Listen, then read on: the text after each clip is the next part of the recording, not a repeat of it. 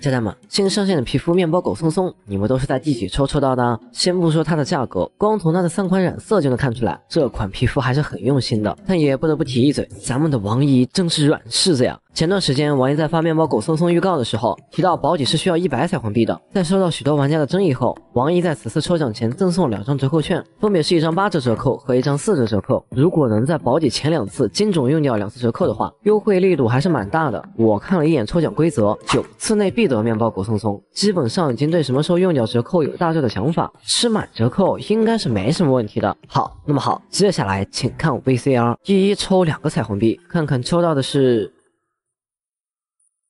一个金币，懒得喷，再来。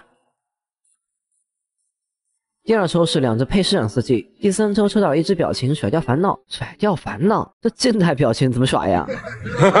这个时候，大部分自信的玩家会选择在第四抽以及第五抽用掉折扣。No No No，这还远远不够。第四抽八个彩虹币，又是两只染色剂，依旧不要着急。第五抽还是不用折扣，继续单抽。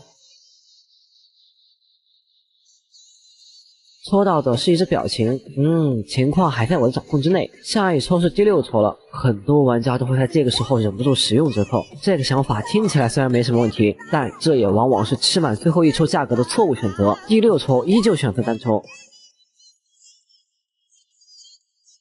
虽然抽到的是一只染色剂，但无伤大雅，情况依旧在我们的掌控之内。抽到这个时候，很多人可能觉得我会把折扣留在最后两抽用，错。第七抽的时候，用掉第一张八折折扣券，花费十一个彩虹币抽到了二十纤维，第八抽需要十六彩虹币，这个时候再用掉这张四折折扣券，只用六个彩虹币就能拿下这次的新皮肤面包狗松松了。